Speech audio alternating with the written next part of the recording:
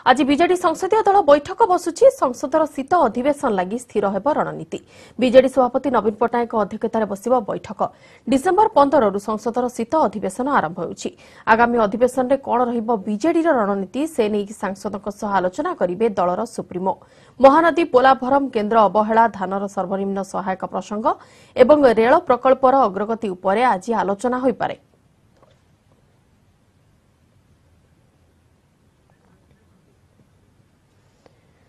ଅଧିକ ଆଲୋଚନା ପାଇଁ ସିଧାସଳଖ ଯିବା ନବୀନ ନିବାସ ସମ୍ମୁଖକୁ। ସେଠାରେ ଅଛନ୍ତି ଆମ ପ୍ରତିନିଧି ଥବିର ସାମଲ। ଥବିର ଯେମିତି ଜଣାପଡୁଛି ବିଜେଡି ସଂସଦୀୟ ଦଳ ବୈଠକ ବସିବାର ଅଛି।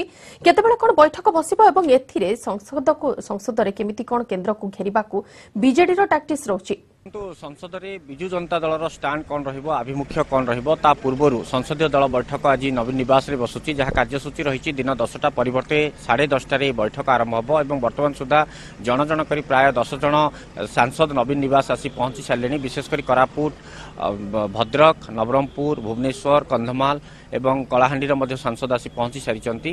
ପ୍ରାୟ ଦଶ ଜଣ ସାଂସଦ ଲୋକସଭା ସାଂସଦ ପହଞ୍ଚି ସାରିଥିବା ବେଳେ ରାଜ୍ୟସଭା ସାଂସଦ ମଧ୍ୟ ଦୁଇ ଜଣ ଆସି ପହଞ୍ଚି ସାରିଲେଣି ଏବଂ ଯାହା ଆଉ କିଛି ସମୟ ପରେ ବୈଠକ ଆରମ୍ଭ ହେବ ଏବଂ ବୈଠକରେ ବିଶେଷ କରି ସଂସଦରେ ବିଜୁ ଜନତା ଦଳ ରାଜ୍ୟର ସ୍ୱାର୍ଥକୁ କେଉଁ ଆକାରରେ ପ୍ରେଜେଣ୍ଟ କରିବ ଏବଂ କେଉଁ ଢଙ୍ଗରେ ଉପସ୍ଥାପନ କରିବ ସେ ନେଇ ମୁଖ୍ୟମନ୍ତ୍ରୀ ଗୁରୁମନ୍ତ୍ର ଦେବେ ଏବଂ ବିଶେଷ କରି ଯେଭଳି ଭାବରେ କିଛି ଦିନ ଯଦି ଆପଣ ଦେଖିବେ କେନ୍ଦ୍ର ରାଜ୍ୟ ବିଭିନ୍ନ ପ୍ରସଙ୍ଗରେ ମୁହାଁମୁହିଁ ହୋଇଛନ୍ତି ତେଣୁ ବିଶେଷ କରି ରାଜ୍ୟ ସରକାରଙ୍କର ଯାହା ମୁଖ୍ୟ ଦାବି ରହିଥିଲା କେନ୍ଦ୍ର ନିକଟରେ ସେହି ଦାବିକୁ ଦଳର ସାଂସଦ ଜରିଆରେ ପାର୍ଲାମେଣ୍ଟରେ ଏହି- ଏହିସବୁ ଉଠାଇବା ପାଇଁ ମଧ୍ୟ ନବୀନ ପରାମର୍ଶ ଦେବେ ବୋଲି ଯାହା ଜଣାପଡ଼ିଛି। ତେବେ ମୁଖ୍ୟ ପ୍ରସଙ୍ଗ ରହିବ ମହାନଦୀ ଯେଭଳି ଭାବରେ ଟ୍ରିବ୍ୟୁନାଲ ଗଠନ ନେଇ ଗତ ଓଡ଼ିଶାର ବିଧାନସଭା ଯେଭଳି ଭାବରେ ବନ୍ଦ ହୋଇଥିଲା ଅଧାରୁ ଏବଂ ରାଜ୍ୟ ସରକାର ଯେଉଁ ଦାବି କରୁଥିଲେ ଯଦିଓ ମାମଲା ସୁପ୍ରିମକୋର୍ଟରେ ବିଚାରାଧୀନ ରହିଛି ଏବଂ ଏଥିପାଇଁ ଡେଡ୍ଲାଇନ୍ ମଧ୍ୟ ସ୍ଥିର କରାଯାଇଛି ତେବେ ରାଜ୍ୟ ସରକାରଙ୍କ ଯେଉଁ ଦାବି ରହିଛି ବିଜୁ ଜନତା ଦଳର ସାଂସଦମାନେ ମଧ୍ୟ ସଂସଦରେ ଏହି ପ୍ରସ୍ତାବ ଉଠାଇବେ ଏବଂ ଟ୍ରିବ୍ୟୁନାଲ ଗଠନ ପାଇଁ ମଧ୍ୟ ଦାବି ଦୋହରାଇବେ।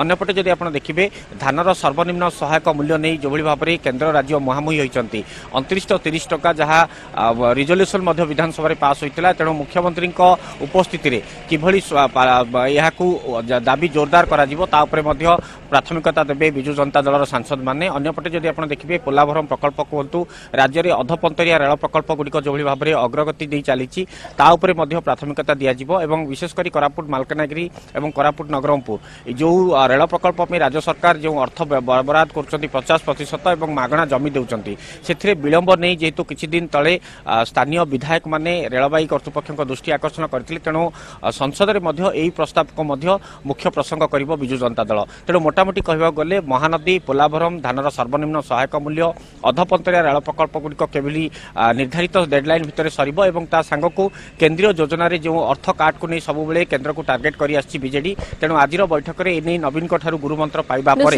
କେନ୍ଦ୍ରରେ ମୋଟାମୋଟି କହିବାକୁ ଗଲେ ଯେହେତୁ ସଂସଦର ଶୀତ ଅଧିବେଶନ ଆରମ୍ଭ ହେଉଛି ସେ ନେଇକି ବହୁତ ଗୁଡ଼ିଏ ପ୍ରସଙ୍ଗ ରହିଛି ଶାସକ ବିଜେଡି ହାତରେ ଏବଂ ସାଂସଦଙ୍କ ଜରିଆରେ ସଂସଦରେ କିପରି ସେପରି ସେସବୁକୁ ଉପସ୍ଥାପିତ କରିହେବ ଠିକ୍ ଭାବରେ ପ୍ରେଜେଣ୍ଟ କରିହେବ କେନ୍ଦ୍ର ଆଗରେ ସେ ନେଇକି ଏହି ସଂସଦୀୟ ଦଳ ବୈଠକରେ ଆଲୋଚନା ହେବ।